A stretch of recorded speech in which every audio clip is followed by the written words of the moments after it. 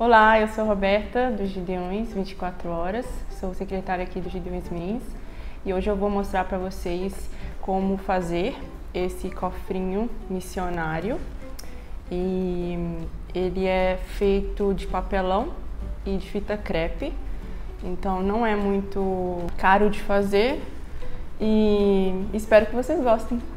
E, então vamos lá. Os materiais, vou mostrar agora quais são. A gente vai precisar primeiramente do molde, que a gente vai estar tá, é, disponibilizando para vocês, com todas as partes do cofrinho. Então essa primeira parte é o perfil, é, depois temos a parte dorsal, que é da vertebral, né, da coluna do, do elefante. Temos a parte interna da tromba e as outras menores partes que são as patas, as orelhas, o rabo e por aí vai, né? Parte interna das pernas. E o material que você vai precisar: uma régua, um lápis, uma fita crepe, uma tesoura, um estilete, é, um pincel e um recipiente com cola branca, né? Que no meu caso já está aqui. Você vai precisar também de tiras de papel, de preferência brancas. Se você quiser usar jornal também, não tem problema. Eu prefiro branca porque é, quando for pintar, é, a tinta pega mais fácil. E também é, o papelão, né? No meu caso, eu já cortei, usei o molde para cortar as partes, né? Com o papelão. Então esse aqui é o dorso, a parte dorsal. Vocês vão perceber que no molde, a parte dorsal, ela está separada em duas partes. Mas é porque a gente não tinha papel grande suficiente para fazer um só. Então, na hora que for cortar o molde, juntar essa parte com esta, com uma fita crepe mesmo, e botar no papelão e, e desenhar. Esses são os materiais, né? Agora a gente vai passar para a parte de montagem. Então, esse é o dorso, como eu falei. E a gente vai pegar o dorso e o perfil, que eu tenho os dois, né? Como eu falei anteriormente, a gente pegou a parte do dorso aqui, né, do molde, e fez uma peça só. Juntou as duas no molde e fez uma peça só. E pegamos o perfil, né? Fizemos dois, né? Porque é a parte da frente e a parte de trás do elefante, ok? Para fazer, o, é, fazer a montagem, o dorso a gente vai ter que fazer um pouco de, digamos assim, amaciar ele, né, uma massagenzinha, digamos assim, para deixar ele um pouco mais flexível. Agora a gente vai pegar o perfil e começar daqui. Tentar encaixar aqui para ver se vai ficar bonitinho, né? Então, tem pessoas que é, preferem colocar fita crepe fora, tem outros que preferem colocar dentro. É, não, não tem muita diferença, porque no final você vai cobrir com papel né, a peça toda, então você pode fazer do jeito que você achar melhor, tá bom?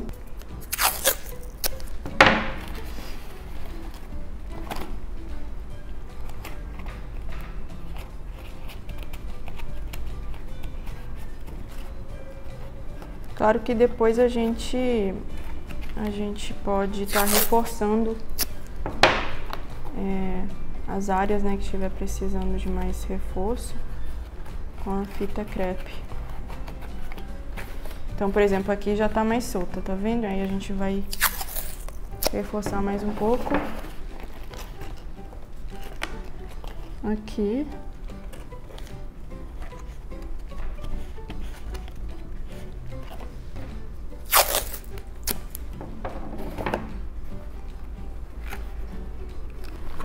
Pronto, ele ficou assim, né, por dentro. Quem fizer por fora, né, obviamente vai ficar assim, só que pro lado de fora. Na hora que for, muito cuidado aqui na hora que for colocar o perfil para não inverter a posição, tá? Então, ter certeza de qual é a tromba e qual é a perna posterior dele. Então, para encaixar, eu apoio o perfil um pouco acima do dorso só para ter um pouco de apoio na hora de colocar a fita. Aí eu venho aqui e começo a colocar por fora o segundo perfil.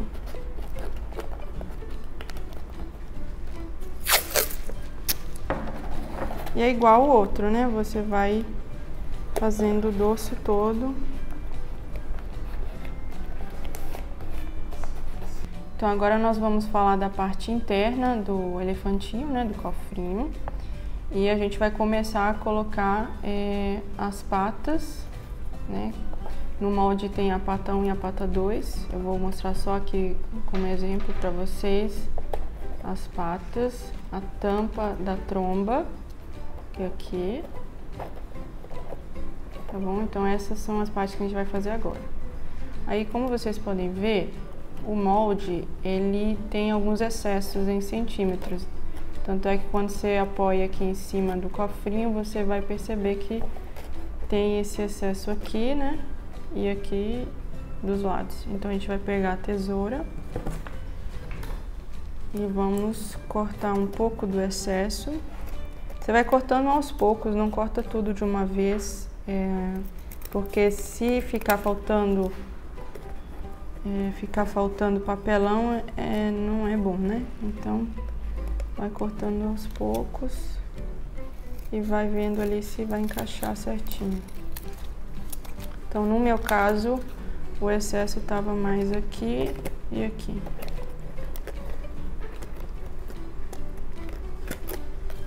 Ainda tem um pouco aqui em cima.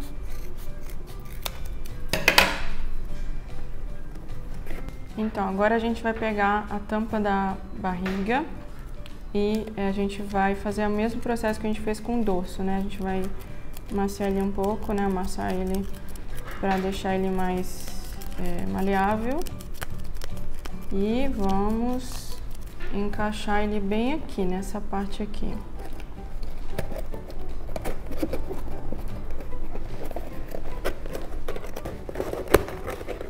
Essa parte aqui é muito importante reforçar ela, porque é a parte onde vão cair as moedas. Então, é, precisa ser reforçado mesmo com a fita crepe. E ter certeza que ela esteja bem encaixada na hora que for colocar a fita. Agora a gente vai pegar a parte interna, a parte interna da perna, né? São duas partes, então uma vai ser, vai encaixar aqui e a outra vai encaixar aqui. Essas duas. Agora a gente vai pegar a parte interna da perna, né, como eu falei antes, e vamos dobrar um pouquinho aqui ela, ó, no finalzinho. Fazer tipo uma uma bainha, né, digamos assim, para ela poder encaixar juntamente com a barriga e ter uma curvazinha, né, porque aqui tem uma curva aqui. Pronto, a gente vai pegar fazer a mesma coisa na outra a bainha aqui no finalzinho.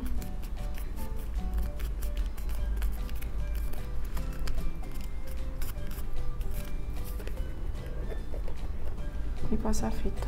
Pronto, e aí vamos depois continuar essa parte aqui da tromba. Essa parte aqui é a parte interna da tromba, ok? Ela vai vir assim no molde, na hora que você for cortar, esse vai ser o tamanho que ela vai vir no papelão. Só que a gente não consegue encaixar é, essa parte por ela ser muito dura, então a gente vai pegar o papelão aqui, essa parte do papelão e vai é, separando essa parte da outra, né, da parte ondulada. Então, você vem aqui e vai fazendo assim. Vai separando.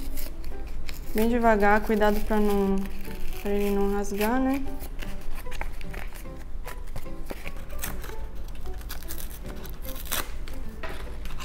Pronto, essa vai ser a parte que a gente vai usar para encaixar aqui. Então a gente vai virar ela assim, a parte, né, interna, e vai colocando, encaixando ele com os dois dedos para dentro. Aqui dá pra ver, tá vendo? Assim.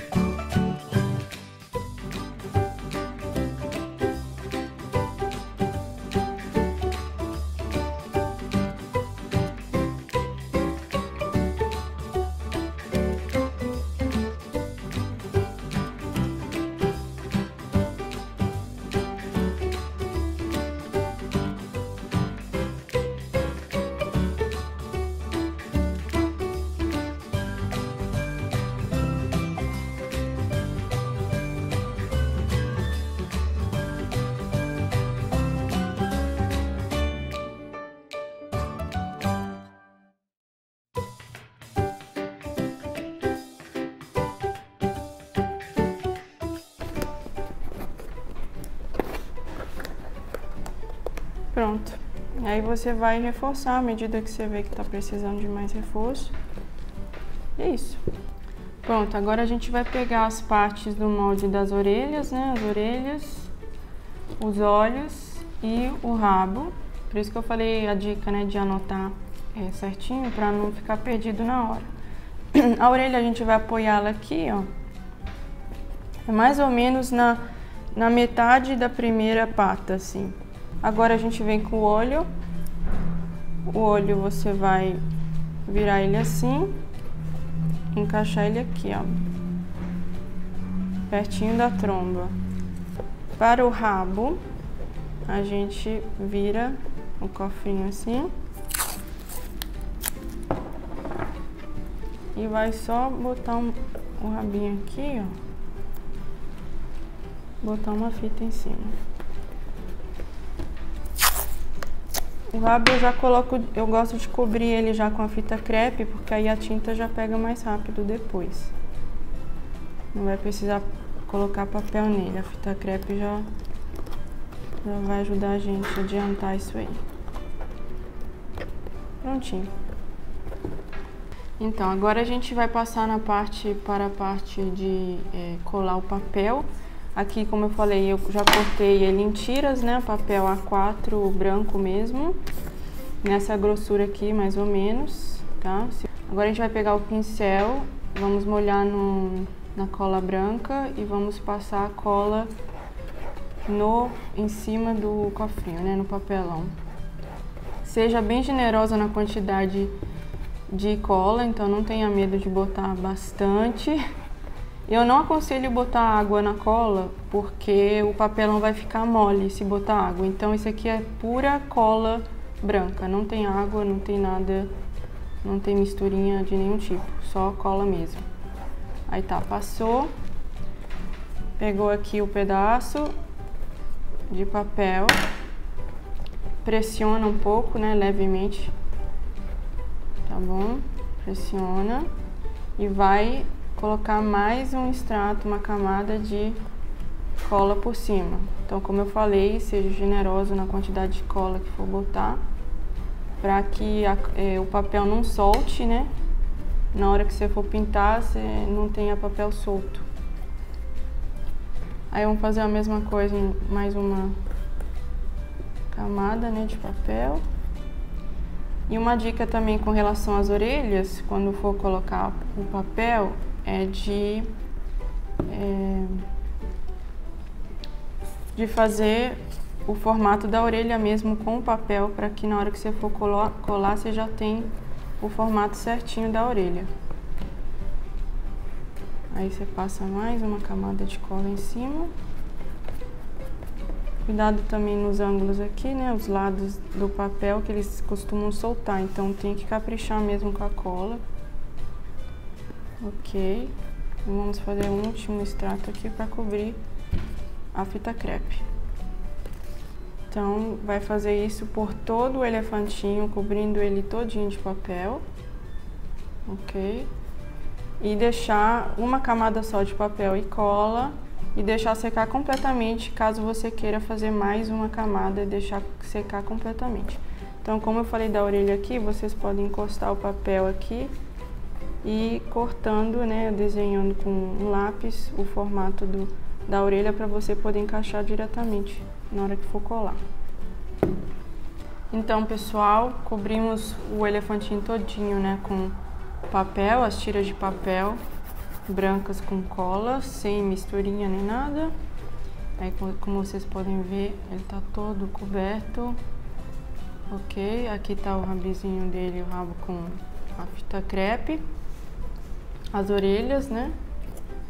Agora eu vou mostrar para vocês, é, eu aconselho fazer o furinho é, das moedas agora nesse momento, assim que a peça estiver seca totalmente, né, com a primeira camada de papel, é, fazer o furo aqui.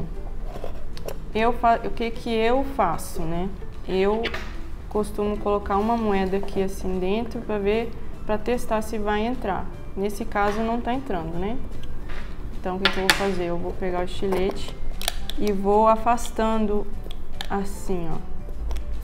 Puxando para frente o estilete, tá? Porque se eu cortar muito, é, eu posso perder o controle, né, e acabar cortando o elefante todo. Então, é, inserindo o estilete assim e puxando para frente fica mais fácil. Ok? Aí agora a gente vai testar com a moeda, ver se... Vamos testar de novo. Pronto. Certinho. Ok, então, para pintura, né, você vai... Eu usei tinta guache é, para pintar. Eu passei a primeira camada de amarelo, que foi a cor que eu queria que o elefantinho tivesse. Então eu pintei ele todo de amarelo primeiro, deixei secar a primeira camada dele. Aqui dá pra ver, olha, ele é todo amarelo. Aqui dentro também. Todinho amarelinho. Deixei secar a primeira camada, esperei e depois passei mais uma camada de amarelo para ficar bem mais reforçado, né? Um amarelo bem mais intenso. É, depois disso, o que, que eu fiz? Para fazer esses círculos, eu peguei um copo de vidro e coloquei aqui assim em cima e fiz os desenhos com lápis dos círculos. E depois eu pintei ele com é, azul claro. Para fazer esses pontinhos internos, eu usei um cotonete. Então eu separei a cor azul marinho para dar um contraste e usei o cotonete para fazer os pontinhos. Claro que eu troquei de cotonete, à medida que você for trocar de cor, você troca de cotonete, porque senão é, as cores vão misturando e fica, não fica legal. É, com relação aos olhos, o que, que eu fiz? É, vocês viram, né? Na hora que a gente colocou o olho, a gente fez, colocou fita crepe, né? Tipo em formato de cruz. Então ele fica com um pequeno relevo, assim, dá pra você ver onde é que tá o olho. Que, que eu fiz? Eu é, pintei o olho diretamente. Se você quiser usar um botão ou uma pedrinha, também pode ser. É, ou se você quiser recortar com um papel mesmo o formato e depois pintar o preto com tinta preta mesmo e colar no relevo, também dá certo. É, esses pontinhos aqui eu usei o, a, a ponta do pincel é, para fazer. Eles são pontinhos menores, né? Que esses aqui dá pra ver, ó. Esses são maiores e esses aqui são menores. Eu usei principalmente nessa parte aqui, ó, porque a nossa mão com o cotonete ela não entrava, então eu usei é, o final do pincel. Né? Eu fui colocando a tinta e fui fazendo assim. Nessa parte principalmente também, que o dedo, né, a nossa mão não encaixa lá. Aí eu fiz assim. Aí, claro que cada um também pode fazer outros formatos, é, pode fazer triângulos, retângulos, é, pode usar tinta acrílica se quiser, é, pode usar papel colorido também, quiser fazer, usar papéis coloridos e for colando, igual um mosaico também funciona, se caso você não tenha tinta, né? E é isso, aí você pode soltar sua criatividade nesse sentido. É, Para nós o tema era África e Ásia, então essas são as cores e, e, e, as formas que eles mais usam nas roupas típicas deles, né? Mas você fica a seu critério como você quiser pintar e desenhar. E pessoal, então chegamos ao final do vídeo, né, do tutorial do cofrinho, né, de, da África missionário 24 horas.